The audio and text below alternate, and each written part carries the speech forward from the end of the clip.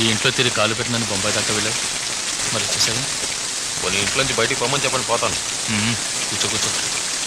రోషానికి ఎంత తక్కువ లేదు. అన్నీ మీ నీతులేక మ్మ్. ఏం లేదు. అన్నీ మీ నుంచి వచ్చినవిగా అంటున్నా. చదువు కోసం అంత దూరం వెళ్ళావు. పూర్తయిందా అన్నయ్య ఫస్ట్ క్లాస్లో పాస్ అవుతాడు. పాస్ అవుతావు సరే. తర్వాత ఏం చేయాలనుకుంటున్నావు? అయ్యా ఏం చెయ్యాలనుకుంటున్నావని అడుగుతున్నా. తమ్ముడికి బొంబాయిలో ఉద్యోగం దొరికింది. అన్నయ్య ఉద్యోగం చేసుకుంటూనే జర్నలిజం చదువుతాడట. మ్మ్. విన్నావా? నువ్వు చదవబోయేది ఏజం జర్నలిజం. నువ్వు ఏ ఇజమైనా చదువు. దాన్ని మాత్రం డబ్బు కట్టక్కర్లా? ఎవరు కడతారు? డబ్బు ఏమైనా చెట్టగా కాస్తుంది?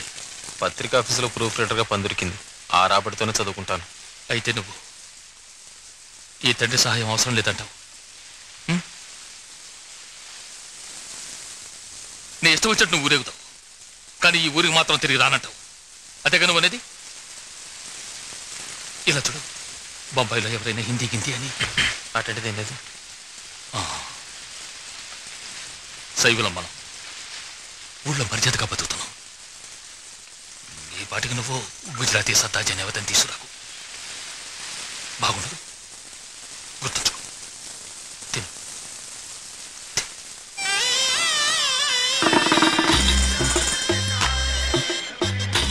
నేను పెళ్ళిళ్ళకి పార్సల్కి తీసుకెళ్ళడానికి నేను బొంబాయి నుంచి లీవ్ పెట్టించింది.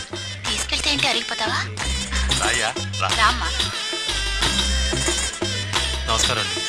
ఎవరో తెలుసా? మా నారాయణమూర్తి గారు అబ్బాయి. అలాగా. అన్నయ్య అంటే చూసుకోవాలని నాన్నగారు చెప్పలా అంతకంటే పని ఉంది ఆయనకి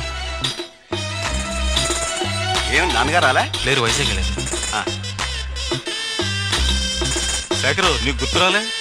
నేను తెలుగు మాస్టర్ ఆ, గుర్తు.